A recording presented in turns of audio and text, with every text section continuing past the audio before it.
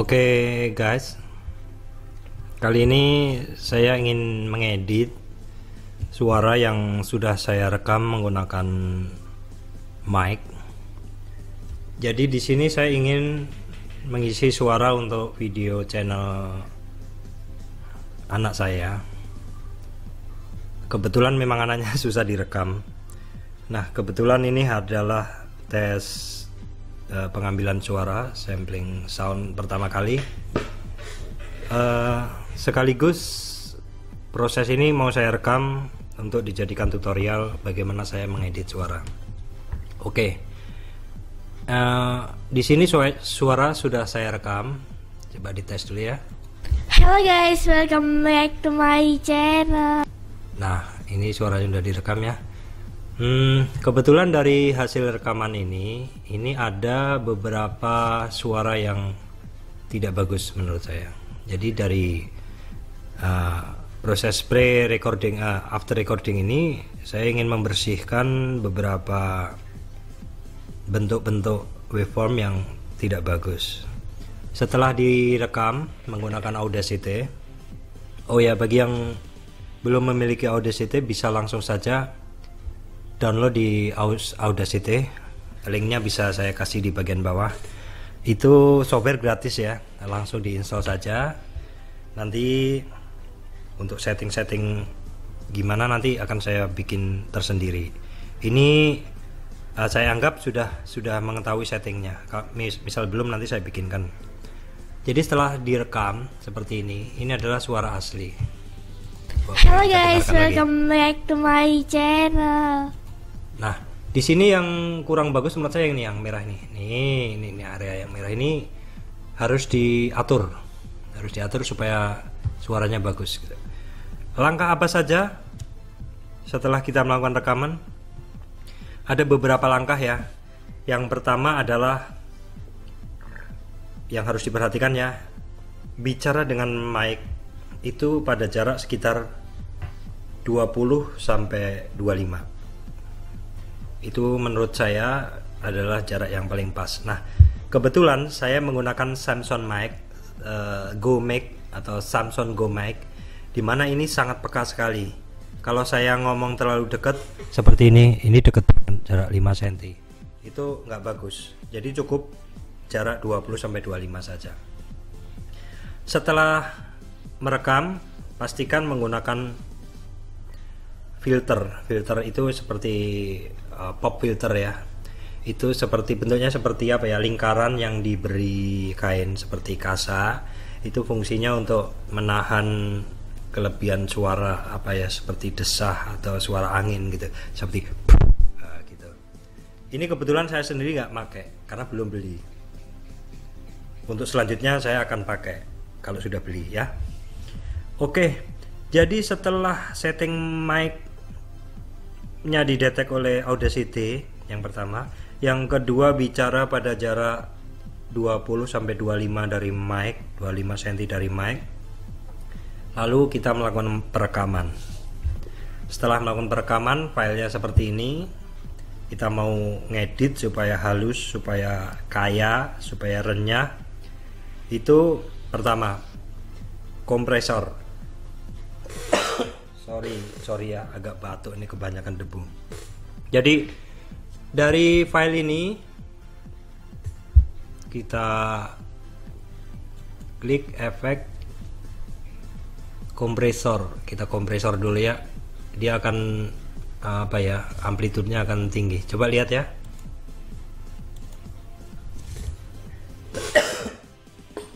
Ya dia akan tinggi setelah proses kompresor suaranya tentu lebih besar. Hello guys, welcome. Tapi terasa deronya lebih banyak lagi. Hello guys, welcome back to my channel. Oke, setelah proses kompresor, oh ya, uh, agak lupa tadi efek. Oke, kita undo dulu aja ya, undo kompresor. Efek kompresor, oke, ya di kompresor itu settingnya ya thresholdnya itu sekitar 15 sampai 40 nih 15 sampai 40 saya pakai 20 aja ya oke. Nah setelah dikompres di 20, 20 kemudian efek equalizer. Kita akan mengatur nadanya. Di sini pilih bass boost atau kita angkat suara nada rendahnya uh, kita gunakan nilai default aja. Uh, perhatikan ya ini akan saya klik dan akan terjadi perubahan bentuk waveform di uh, ini apa sinyal suara. Klik. Sedikit ada perubahan. Nah ini banyak bukan sedikit. Jadi terjadi clipping banyak sekali itu di merah-merah ini. Yang merah-merah ini namanya clipping. Jadi melebihi dari ambang garis yang telah ditetapkan itu nada rendah. Sekarang efek equalizer nada tinggi. Treble boss treble booster. Iya semakin banyak nanti. Iya banyak sekali ya. Uh, ini pasti suaranya lebih jelek. Halo guys welcome. Nah, karuannya jeleknya. Jadi suara yang lemah kita kuatkan tapi yang terlalu kuat pasti akan merah. Nah seperti ini untuk menghilangkan ini menjadi seragam gimana?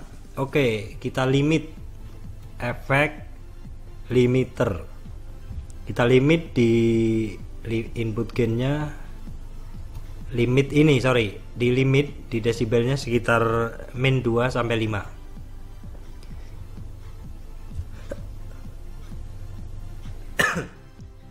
min 2 sampai 5 coba uh, di set 4 aja deh ya segini nah oke okay, di sini nggak apa-apa Coba perhatikan ya sebelum saya tekan OK dan sesudah saya tekan OK. Ini masih terjadi banyak clipping merah-merah di sini.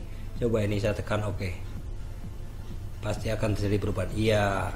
Suaranya sudah mulai cukup seragam, namun secara ini ya, amplitudenya dia mengecil. Gimana cara kita meningkatkan lagi supaya merata tingginya? Selanjutnya adalah kita melakukan normalize, normalisasi. Seperti kalau lihat normalisasi sungai itu artinya sungai yang berkelok-kelok dinormalkan supaya lurus kan gitu. Normalize, normalize. Nah, ini oke. Okay. Ini setting ini aja ya, default aja, langsung oke okay aja. Coba perhatikan sebelum dinormalize sama sesudah. Ini oke okay ya, lihat ya, perhatikan. Iya. Nah, ginilah suaranya menjadi lebih beragam. Hasilnya semoga lebih baik. Halo guys, welcome back to my channel. Oke, sebentar. Oke, uh, mau memberi efek apa lagi? Kalau saya biasanya suka reverb dikit. Ini tanpa reverb ya. Sekarang yang dengan reverb sedikit saja. Halo guys, welcome back to my channel. Oke uh, seperti di studio gitu. Oke kita bikin dua deh yang pakai reverb atau enggak ya.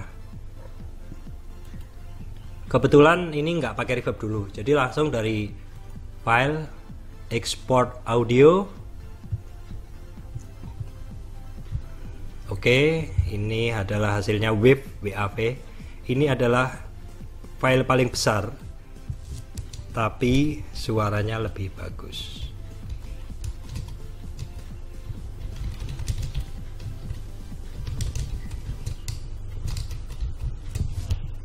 Oke, langsung saja. Nah, kalau ada seperti ini, kalau mau dikasih artisnya siapa, boleh saja.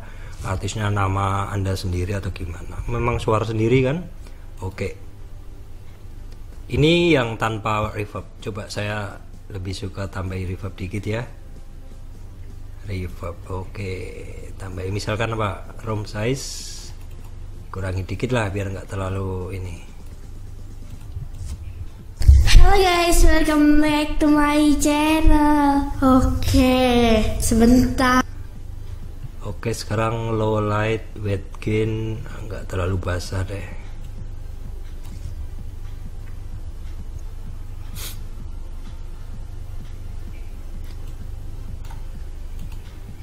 Halo guys, welcome back to my channel. Oke. Oke, yang yang belum tahu settingannya yang ini aja deh, yang normal saja. Oke. lihat perbedaannya iya clipping lagi kita limit lagi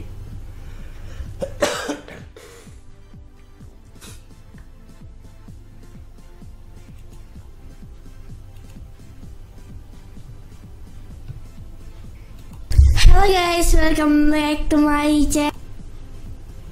Boleh lah kalau mau di normalis lagi bisa kalau enggak ya tidak apa-apa. Saya sementara coba yang tidak normalis saja saya biarkan dulu. Karena ini mencoba aja ya. Sport audio oke nggak apa-apa deh. Sport audio.